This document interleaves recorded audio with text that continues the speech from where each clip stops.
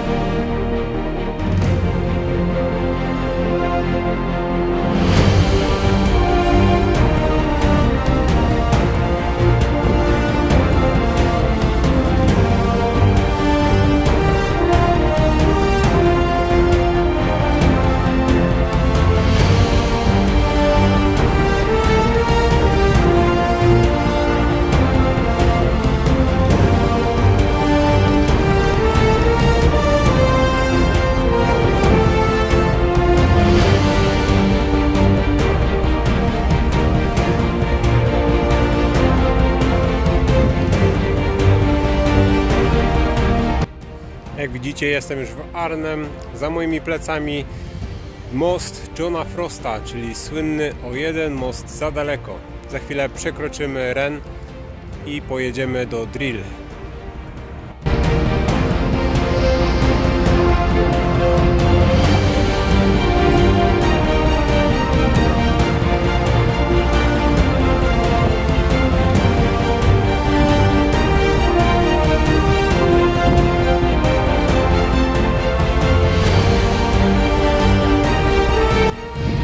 Mną widać polską strefę zrzutu, a ja kieruję się do kwatery głównej generała Sosabowskiego.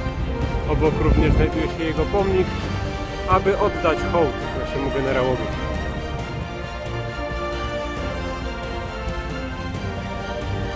A więc jesteśmy w Drill, małym miasteczku, w którym lądowali polscy spadochroniarze.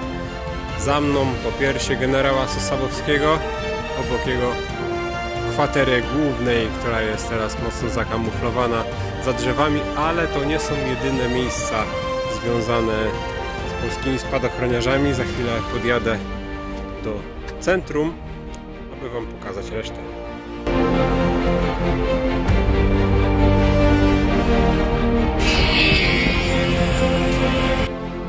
Centrum Drill, Polen Plain, czyli Plac Polski. W tym miejscu odbywają się co roku uroczystości upamiętniające operację Market Garden. Ten pomnik e, Surge Polonia ufundowany przez mieszkańców miasta w ramach wdzięczności za wyzwolenie, a obok też pomnik generała Sosabowskiego ufundowany przez brytyjskich weteranów operacji Market Garden.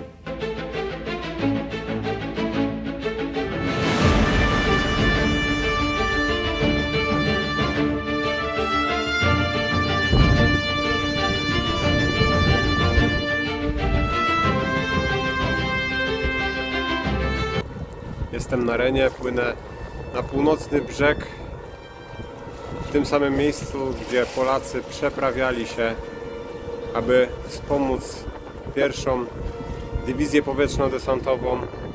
Co najbardziej poruszające jest to, że tuż obok na niewielkim wzgórzu znajduje się restauracja, która we wrześniu 1944 roku była obsadzona przez Niemców i całą tą przeprawę widzieli dosłownie jak na talerzu.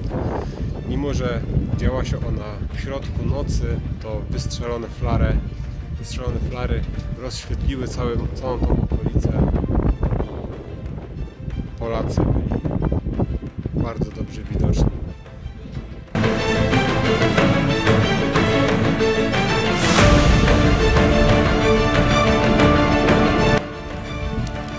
tutaj z południowego brzegu to miejsce dopływały łodzie, które już po dotarciu często były rozszarpywane przez niemieckie karabiny maszynowe.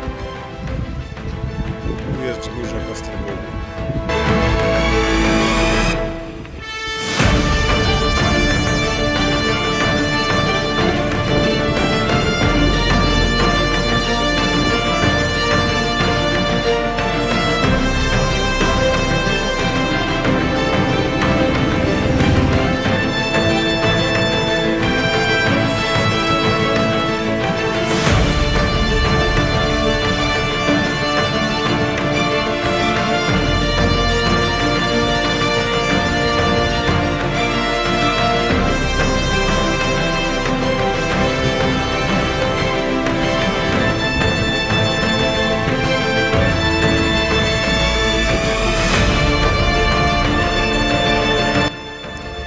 Koniec tej trasy. 42 km za nami. 1300 kalorii spalonych. Jeżeli spodobał Wam się ten film, dajcie znać w komentarzu lub polubcie go i dajcie znać, czy chcielibyście kolejne relacje z takich historycznych miejsc. Pozdrawiam, dzięki.